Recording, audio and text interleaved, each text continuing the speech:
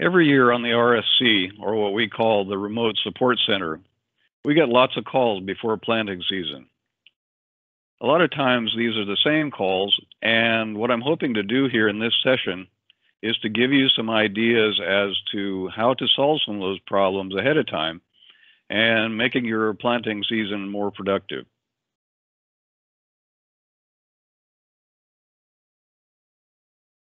There are three main areas that we deal with quite a bit, and one is uh, the guess row uh, problems. How to make sure that the guess rows are correct when you go to plant and hopefully do it uh, early. Uh, along with that, section control settings, how to make the rows turn on and turn off correctly. And third, uh, it's not documenting. Blue coverage is not showing up. And because blue coverage isn't showing up, uh, you're not sure if it's documenting. So we're going to try to address those three issues.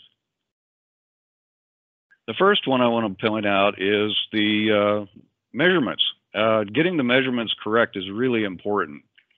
As you'll notice for this screen, I like to recommend that we do a complete measurement along tape all the way from the center of the receiver to back here where the seed hits the ground. Once you have that measurement, now we're going to break that apart and we're going to put it into the display under the four measurements. The first one being from the center of the receiver to the axle. The second one is from the axle to the pivot point. There are three options here. You could be the drawbar, you could be the, the, uh, the three-point hitch, or the one I like to recommend is the pivot point on the planter. That is going to give you a better representation of how things are turning in the field. I want to point out here, tractor measurements, these first two are in inches, whereas the implement is in feet. So now we've got the pivot point from the planter. Let's go from here. Letter A is a measurement from the pivot point of the planter to the front of the planter. Then letter B is from the front of the planter to where the seed hits the ground. That's important because the picture doesn't makes it look like it's the back of the planter. It's not. It's you. It's the point where the seed hits the ground. Again, all of the planter or implement measurements are in feet. And this is the way it looks on your screen. You have the machine, which is a tractor, and the implement number one, which would be the planter. Oftentimes, implement number two is blank. So you're going to have your measurements here. This first screen shows the measurement of the machine, which is a tractor. Basically, I want you to understand that this is the machine. Implement one is the planter. It may have an implement two, but that doesn't mean you're pulling another implement. That's going to be blank. So let's go ahead and put the change offsets button and you'll get this screen right here. This screen is where we put our measurements in inches. The letter A, which is the receiver offset, is always going to be zero on the tractor unless the receiver is positioned other than in the middle of the tractor. So I don't want to see measurements there for offset. We'll talk about that later. Again, in inches, put in the measurements and make them add up that long measurement we made initially. So now we're on the implement. We're going to do the same thing here. We're going to hit change offsets and we'll get this screen. You'll notice that it's in feet. A is the me measurement from the pivot point to the front of the planter. B is from the front of the planter to the where the seed hits the ground. And D is going to be what we call the uh, control point or where the planter pivots as it's turning a corner. All right, the first thing I want you to do now, you got into the field. And by the way, all of this can be done way before it's time to plant. So I'm going to recommend that you do this early. We need to calibrate the TCM. We've been talking about this for years, but it's still important. One thing about the new 6000 receiver is they were recommending that we do a figure eight two times before we do the regular calibration. There's been some reports of improvement even on the 3000, but mostly I wanted to point this out to improve your TCM calibration, turn a figure eight several times before you do the regular calibration. You want to calibrate this thing anytime the receiver has been unplugged or uh, at the beginning of the season. Why not give it a go uh, before the season starts? So now we're going to the field. And I want to point out you do not need to do this right by the lane road where you're going to be seeing any kind of mistake that might be happening throughout the whole year. Save yourself some trouble and go to the back 40 somewhere and start doing this. You, by the way, you can leave the vacuum off with your planter. Don't need to plant seeds, so you can do this anytime ahead of planting corn.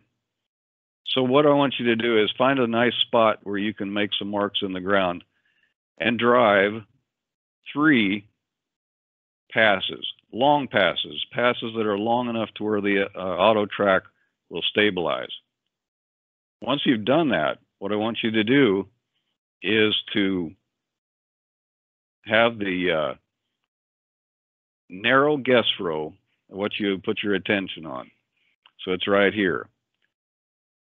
Go and measure several places along the row.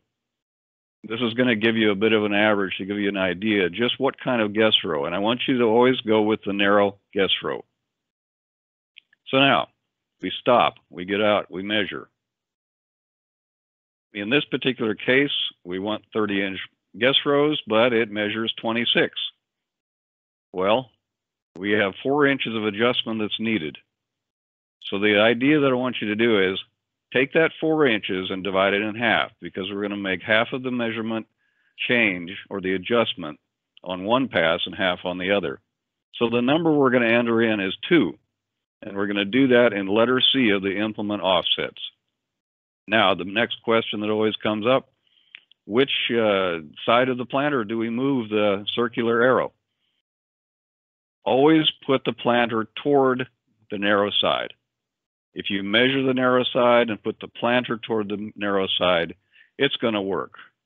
This is one of those things that doesn't really make sense, but just do it that way and it will work instead of spending half a day trying to get your uh, guess row set correctly.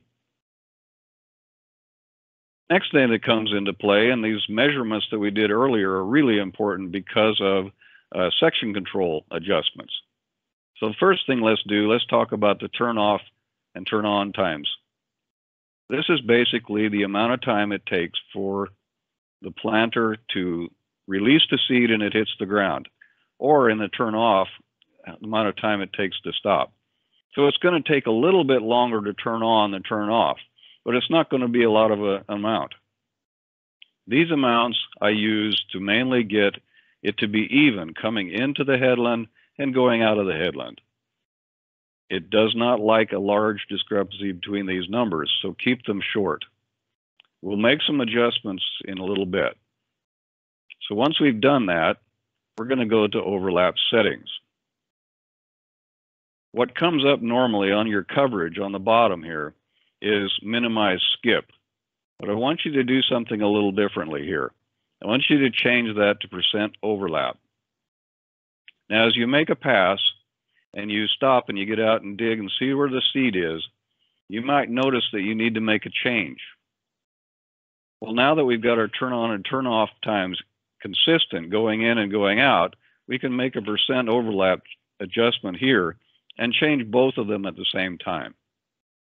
It starts out at 100%. But if you notice on this screen, I set it to 50% Let's go back and we'll see the change. At 100%, you can look at the picture to the right, and it will make a change that will simulate what you're wanting to have done. It's a way to double check yourself before you uh, uh, make the change. The next question that comes up often is it's not documenting or blue coverage isn't uh, working. So I want you to hit the document button, the piece of paper with a pencil, and let's look through all of our settings on here. First of all, of course, you need to have the client farm in the field and the task is planting. And by the way, put in the crop season. It's important to keep track of it by the crop season. The crop season changes right after harvest. Anything you do after harvest is for the next year. So we'll look at the top here and we have corn and 1034.0. We have two products that we are documenting. One of them is through the planter and the other is uh, could be just a straight rate. But I want to make sure that we fill things in here. Seed type. You might take a note here. Anytime you see a little dot to the left of the uh, title, that's a required uh, bit of information that needs to happen in order to get documentation to happen correctly. So now we'll hit uh, put in a variety. Again, we have the little dots. Brand is, is uh, optional. A variety is mandatory, but these two are needed. So once we have that entered in, hit accept. And now we're going to go and check our work. This is the page I will take you to if you call the RSC. If we go to diagnostics and up here in the view, it'll probably say GPS, but I want you to select recording. We're going to then go to the operations properly defined right down here. If it says corn and yes, and 1034 oh and yes, everything is done correctly and it should document. If it says no, you need to go back to your screens and check to see what was left out. I'm hoping that some of these things will help uh, when you go to plant this year. And if you have questions, don't hesitate to call the RSC and we will see if we can help. Thanks.